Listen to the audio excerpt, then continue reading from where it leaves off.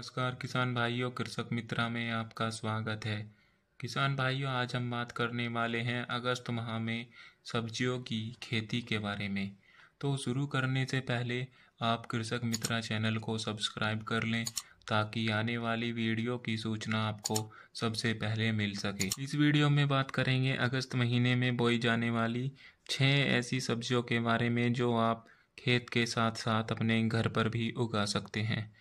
यह video specially ऐसे लोगों के लिए है जो घर पर सब्ज़ियाँ उगाना चाहते हैं। सबसे पहले बात करेंगे धनिया के बारे में।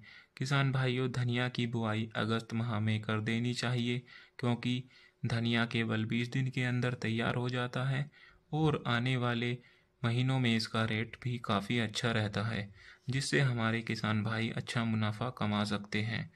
और जो भाई धनिया को घर पर उगाना चाहते हैं, उनके लिए यह सबसे आसान फ़सल है, क्योंकि यह कम समय में तैयार हो जाती है और आपके घर में चाहे जितनी कम जगह भी हो, तब भी आप धनिया को गमले में भी उगा सकते हैं। हमारी दूसरी फ़सल है टमाटर। किसान भाइयों, टमाटर की बुआई भी अगस्त माह में की जाती है। इस समय टमाटर उगाने पर आने वाले कुछ महीनों में इसके अच्छे रेट मिलते हैं।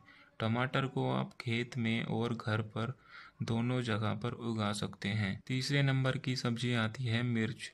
अगस्त में मिर्च लगा देनी चाहिए क्योंकि आगे आने वाले त्योहारों के समय में इसका रेट सौ रुपये किलो तक पहुँच जाता है। मिर्च भी खेत में उगने के साथ साथ घर पर भी उगाई जा सकती है। चौथी सब्ज़ी है करेला। इसकी बुआई भी अगस्त में कर देनी चाहिए क्योंकि करेले के लिए गर्मी व वर्षा दोनों मौसम अनुकूल हैं।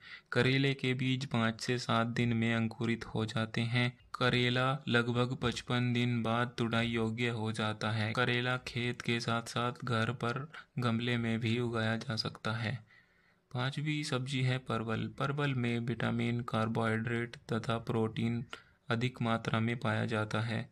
किसान भाइयों, इसकी बुआई अगस्त में करनी चाहिए। यह एक कद्दू वर्गीय सब्ज़ी है। इसकी बेल फैलती है। इसका रेट 80 से 100 रुपए किलो तक रहता है। इसको आप खेत में बुआई के साथ साथ घर पर भी उगा सकते हैं। छः नंबर की सब्ज़ी है बैंगन। किसान भाइयों, बैंगन की रोपाई अगस्त में हो जानी चाहिए। जब बैंगन के पौधे पर कम से कम चार पत्तियाँ आ जाए, तब इसकी रोपाई करनी चाहिए। इस समय बैंगन की खेती करने से आने वाले महीनों में बैंगन का रेट 40 से 50 रुपए किलो तक पहुँच जाता है। इसको भी आप खेत के साथ साथ घर पर भी उगा सकते हैं। और इस वीडियो में हमने जितनी भी सब्जियों के बारे में बताया है, इन्हें आप अपने घर पर आसानी से उगा सकते हैं। किसान भाइयों, आज के इस वीडियो में बस इतना ही। फिर आएँगे एक नई वीडियो के साथ।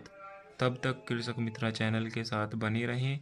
जिन्होंने अभी तक चैनल को सब्सक्राइब नहीं किया है, वो कृपया चैनल को सब्सक्राइब कर लें, जिससे आने वाली वीडियो की सूचना आपको सबसे पहले मिल सके। धन्यवाद।